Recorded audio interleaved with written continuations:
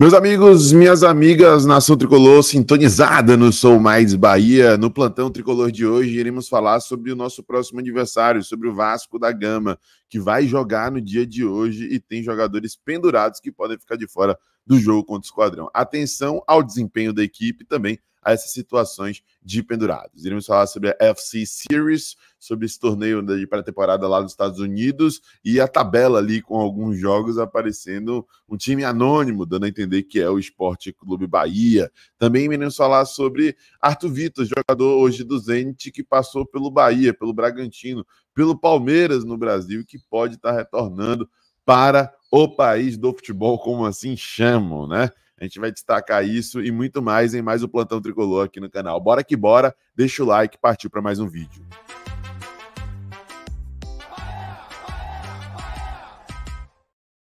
Fala nação tricolor ligada no Sou Mais Bahia, tudo beleza? Barbaço na área. Tô aqui para começar mais um vídeo, dessa vez mais um plantão tricolor com as últimas informações do Esquadrão de Aço para você, torcedor do Bahia, ficar muitíssimo bem informado. Chegou, deixa o like, se inscreve, ativa o sino, no mínimo três conteúdos por dia, claro, compartilha com geral para dar aquela moral extremamente importante para gente.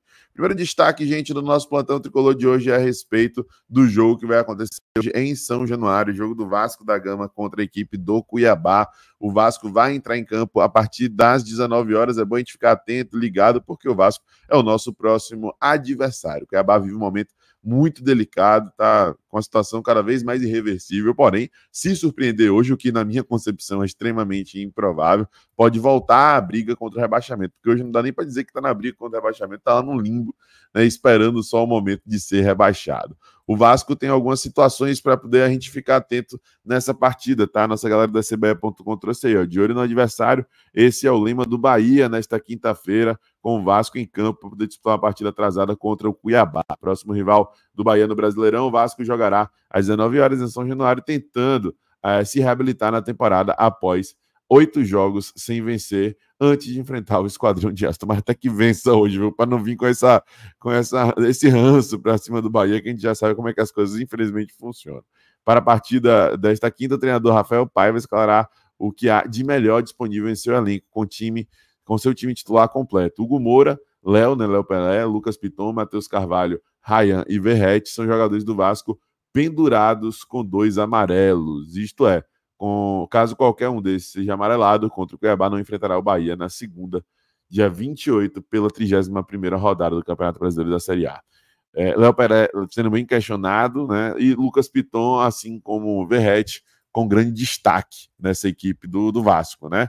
Vamos acompanhar o jogo, né? Torcendo para que role um cartãozinho aí para esses dois jogadores, principalmente que eu destaquei, para ver se o caminho fica um pouco mais facilitado para essa partida que tende a ser tensa, difícil, complicada contra o Vasco no próximo dia 28. Vamos acompanhar esse jogo hoje para poder conhecer melhor o nosso adversário. Outro destaque do nosso plantão tricolor de hoje, gente, é sobre a antiga Florida Cup, a FC Series. A gente trouxe recentemente um registro das redes sociais da FC Series em que aparecia ali o escudo do Bahia, dando a entender, e ele geralmente não comete esses tipos de engano, equívocos, né? Que o Bahia estaria participando do torneio de pré-temporada nos Estados Unidos é, em 2025. Só que dessa vez, provavelmente depois de uma represália por parte do Bahia, que não queria que isso fosse revelado antes da manifestação oficial do clube, apareceu ali uma lista de jogos, né? Cruzeiro, São Paulo, Atlético Mineiro, né? o Cruzeiro, São Paulo, Orlando City, Atlético Mineiro, e enfim, outras, outras, é, outros confrontos também foram divulgados. E aí, um dos confrontos esses contra o São Paulo, que vai ser em Fort Lauderdale, né, no dia é, 19 de janeiro, aparece ali um time, ó, TBA, né, sem esclarecer, sem revelar quem é esse time, dando a entender que esse time pode ser o Esporte Clube Bahia. A gente segue monitorando, acompanhando de perto. Qualquer novidade, evidentemente, traremos aqui no canal. A tendência é que o Bahia se manifeste em breve sobre essa pauta, sobre essa temática. Vamos aguardar. Outro destaque do nosso plantão tricolor de hoje, meus amigos, é a respeito de Arthur Vitor, jogador que tem muito talento, muita qualidade.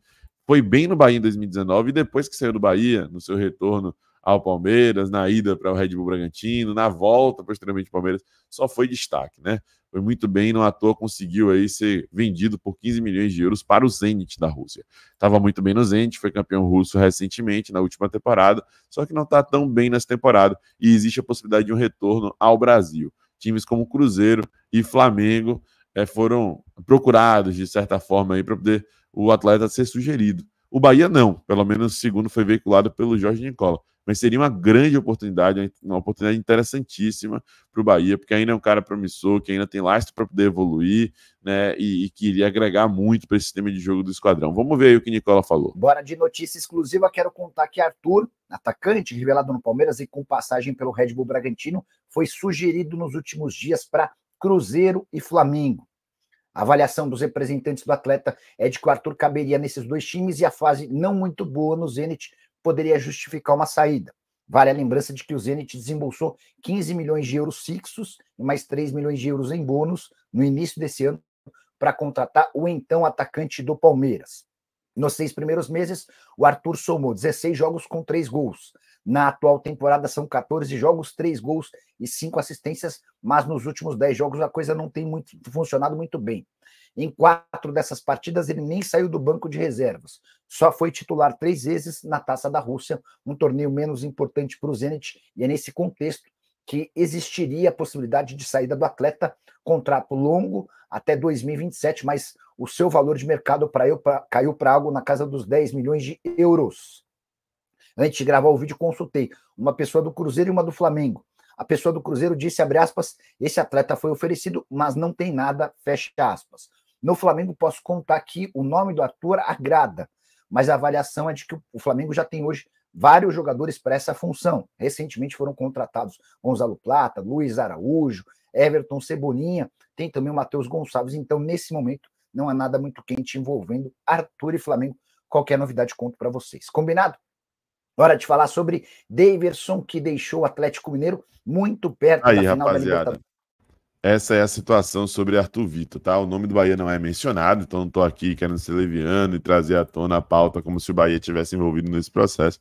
Mas seria extremamente interessante, principalmente após um dia que surge a informação sobre Soteudo, né? Lá do Diário de um Santista, a gente repercutiu isso aqui no canal. Vou deixar no card aí para você poder conferir. Soteudo tem um ano a mais que Arthur Vitor, né? tem 27 anos, e Arthur Vitor já foi mais provado aí em um nível mais elevado, né? Está no Zenit no momento, joga um campeonato também interessante, competitivo, e aqui no cenário nacional, recentemente, né, mais recente do que Soteudo, conseguiu ter boas, boas performances, né? Bons resultados, principalmente no Bragantino e no Palmeiras, tá? Eu acho que seria mais interessante, seria uma alternativa ótima, e é um cara que já tem identificação com o Bahia, pelo que ele fez vestindo a camisa do esquadrão em 2019. O que você acha do nome de Arthur Vitor? Acha interessante? Acha que vale a pena uma investida? Cerca de 10 milhões de euros, esse é o valor de mercado segundo o Transfer Market. A gente se comercializá-lo por isso, vai acabar perdendo uma grana, digamos assim, porque investiu 15 milhões de euros. Mas aparentemente eles estariam dispostos a negociar. Vamos aguardar o desdobramento dessa história. Bom, gente, se gostou do vídeo, já sabe, deixe seu like, se inscreve, ativa o sininho, compartilhe. Um abraço para vocês, até a próxima. Eu sou mais Bahia, eu sou mais do Nordeste. E você?